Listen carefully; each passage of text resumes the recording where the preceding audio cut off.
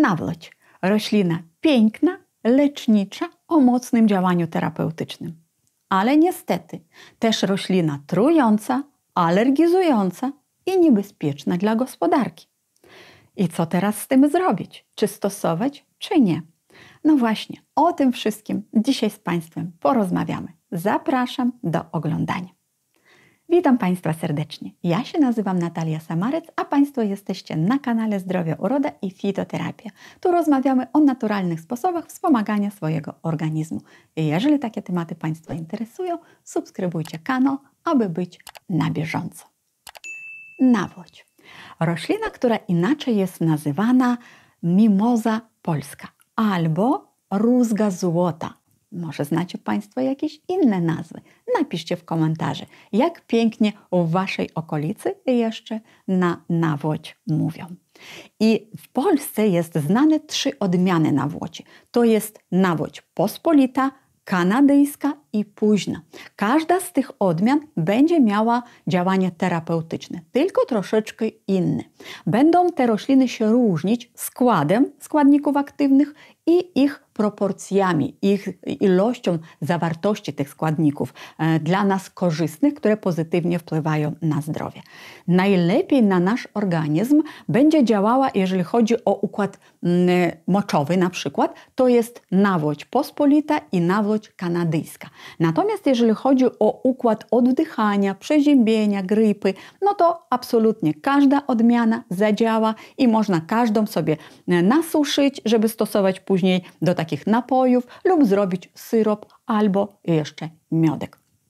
I teraz po kolei Wam opowiem, zacznę od tych działań pozytywnych, od tych działań leczniczych na wodzie, a później powiem, na co koniecznie trzeba zwrócić uwagę, jakie są przeciwwskazania, kto nie powinien stosować. To jest bardzo, bardzo ważne, także oglądajcie Państwo do końca. I zacznijmy oczywiście od układu moczowego, od nerek, bo z tego nawłoć słynie, że jest to wspaniały detoks, stosowanie nawłoci na układ moczowy. Potrafi oczyścić z piasku, złogów, kamieni, pod warunkiem, że nie są to fosforanowe kamienia, bo jeżeli są fosforanowe, to trzeba pamiętać, że nawłoć podnosi pH moczu i dlatego jest niewskazana. Natomiast przy pozostałych jak najbardziej. Jak wiedzieć, jakie to są kamienia? To wychodzi wszystko w moczu. Widzimy, jakie sole w moczu u nas się pojawiają. Jak się pojawiają fosforany, no to nawódź nie stosujemy. Pamiętajmy, że są przecież inne wspaniałe zioła, które wtedy nam pomogą. Nawódź też się sprawdza przy stanach zapalnych bakteryjnych, na przykład cewki moczowej, pęcherza moczowego i my możemy wtedy zrobić nasiadówki albo też oczywiście stosować napary do wewnątrz. Ogólnie zioła lecznicze lubią nawzajem swoje towarzystwo, dlatego dobrze jest stosować mieszanki ziołowe. I szczególnie to dotyczy nawłoci. To jest bardzo mocna roślina i dobrze będzie, jeżeli ją połączymy jeszcze z innymi. I na przykład, jeżeli chodzi o układ moczowy, to sprawdzi nam się następująca mieszanka: nawłoć, liść brzozy, pokrzywa, skrzyp, mniszek lekarski. I warto też pamiętać, że takie zioła, które się polecają na układ moczowy, raczej tak na kamicę moczową, kamicę nerkową, to te same zioła sprawdzą się przy problemach ze stawami, kiedy piasek, to znaczy sole, odkładają się na powierzchni stawowej. Też będą te sole z organizmu wyprowadzać. Nawódź też się sprawdzi przy niektórych problemach z układem pokarmowym, szczególnie kiedy jest niedokwasota żołądka, bo nawódź powoduje produkcję, większą produkcję kwasów żołądkowych, a to znaczy pomaga przy niestrawnościach, przy gazach i też dobrze ją na układ pokarmowy połączyć z innymi ziołami. W tym przypadku oprócz nawłoci warto do mieszanki dodać rumianek, nagietek, szalwia, pokrzywa. Taka mieszanka bardzo dobrze się sprawdzi przy stanach zapalnych w żołądku i na śluzówce dwunastnicy. I taka sama mieszanka może być też wykorzystywana e, przy problemach skóry. Przy tym, że nawłoć yy, to jest bardzo dobrze, że ma w sobie taką moc, bo przy problemach skóry akurat może być wykorzystana jako monoprodukt. Już nawet bez dodawania innych ziół będzie bardzo dobrze działała bakteriobójczo i grzybobójczo. Na przykład przy takich problemach jak zakażone trudno gojące się rany. Wtedy robi się e, wywar, żeby był mocny i takim albo przymywamy rany, albo nawilżamy gazę i na pół godziny na ranę przykładamy, żeby ona się oczyściła i zaczęła się goić. Również przy stanach grzybiczych można robić takie okłady. Jeżeli problem jest taki bardziej obszerny na całym ciele, jakieś zmiany skórne, no to wtedy można przyrządzać kąpiele. Kąpiele też się sprawdzą um, dla poprawy urody, na ujędrnienie skóry, przy rozstępach lub też przy takich drobnych pajączkach, bo nawłoć uszczelnia ściankę małych naczyń krwionośnych.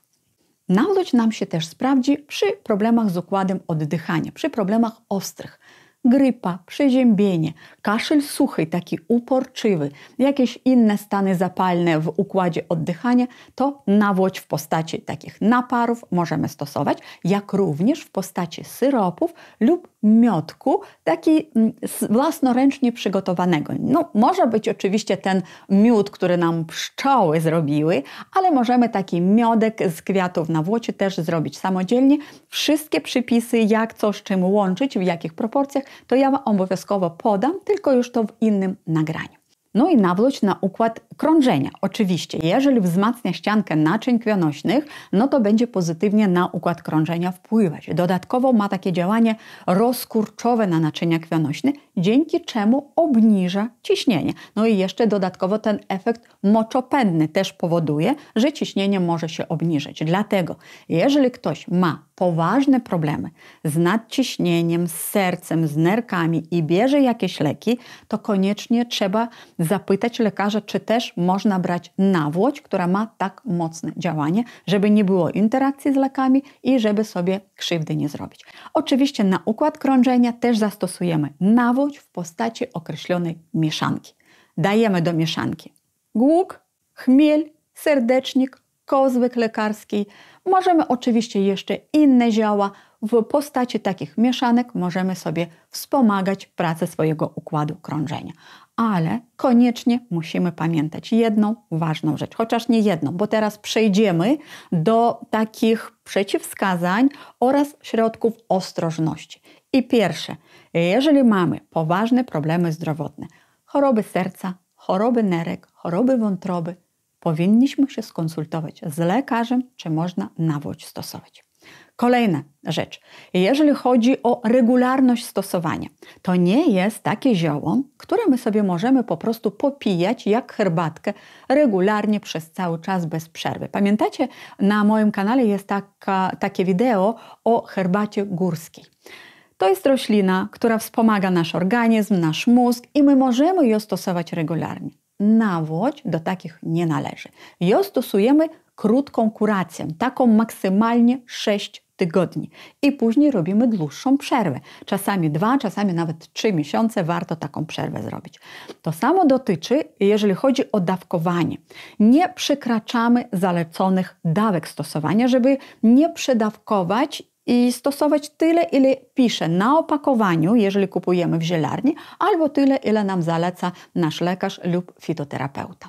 Kolejna rzecz, trzeba pamiętać, że nawłoć jest rośliną bardzo mocno alergizującą. I osoby, które mają już alergię na jakieś rośliny, powinny być ostrożne, chcą stosować, mają zastosować wtedy mono napar, nie mieszać już z innymi ziołami, żeby wiedzieć, jak na samą nawłoć organizm zareaguje i zrobić ten napar na początku bardzo, bardzo delikatny i zastosować go w bardzo małej ilości, żeby zobaczyć, jaka będzie reakcja.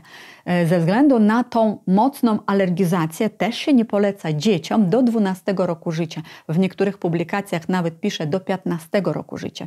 I to dlatego między innymi w wielu krajach, na przykład na Białorusi, jest ta roślina na liście roślin niebezpiecznych dla człowieka i dla gospodarki. Dla człowieka ze względu na wywołanie tych reakcji alergicznych, natomiast dla gospodarki, dlatego że jest to roślina bardzo inwazyjna.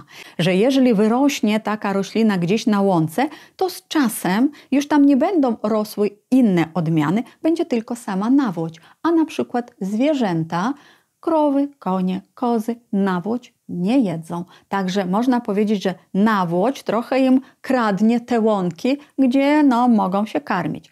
Także w niektórych krajach nawet poleca się może nie nakazuje się, ale zaleca się ludziom ostrożnie i z tym sadzeniem na działkach gdzieś tam u siebie, no bo przecież roślina jest piękna. W Polsce chyba nie jest jeszcze aż tak źle, a jednak coraz więcej słyszymy, że na przykład nawłoć pospolita już jest rzadziej spotykana, bo pojawiła się z zagranicy nawłoć kanadyjska, która owszem ma terapeutyczne, lecznicze działanie, ale niestety no, ma też swoje przeciwwskazania, no i jest tak agresywna, tak inwazyjna.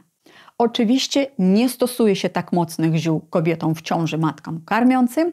Jeżeli ktoś bierze leki moczopędne, też powinien uważać, bo nawłoć jest moczopędna i leki moczopędne. No to można trochę przesadzić, Pilnujemy, ile pijemy wody i czy stosujemy elektrolity, żeby potrzebne mikroelementy z organizmu nie wypłukać. Na podsumowanie mogę tylko przypomnieć jeszcze słowa Paracelsjusza, że każda roślina, a raczej tak każda substancja może być lekiem i trucizną jednocześnie. Wszystko zależy od dawkowania. Także dlatego, że nawłoć ma te swoje ciemne strony, nie znaczy, że nie możemy ją stosować, jeżeli widzimy, że akurat w naszym przypadku może nam pomóc. Bardzo dziękuję Państwu za uwagę. Życzę dużo, dużo zdrowia i do zobaczenia w kolejnych nagraniach. Z Wami była Natalia Samerc.